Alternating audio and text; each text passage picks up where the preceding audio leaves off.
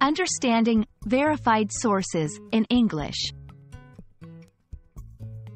Hello everyone. Today we're diving into the world of information and understanding what verified sources mean.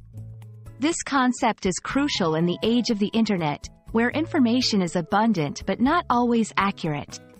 So, if you're ready to navigate the sea of information more wisely, let's get started.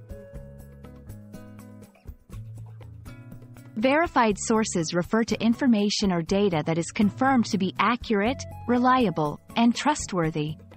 These sources have usually undergone a thorough process of verification by experts or authorities in the field. Think of it like a seal of approval that tells you, this information can be trusted. In a world brimming with information, not all of it is accurate or truthful.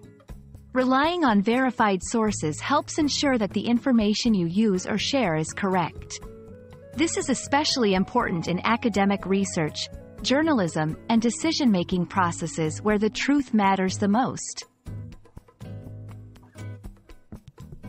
Identifying verified sources involves a few key steps.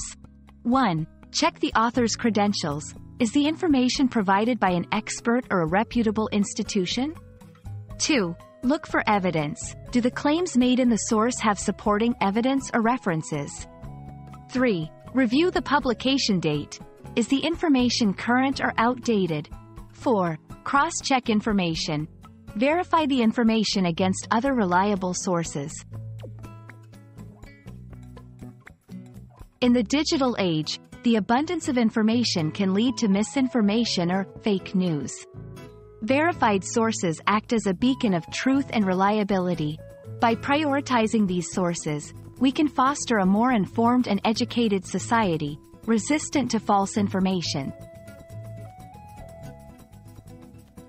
Understanding and using verified sources is crucial in our journey towards becoming well-informed individuals.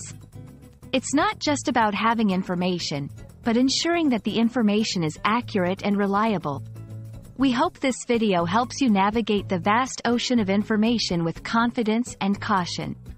Keep learning and stay curious.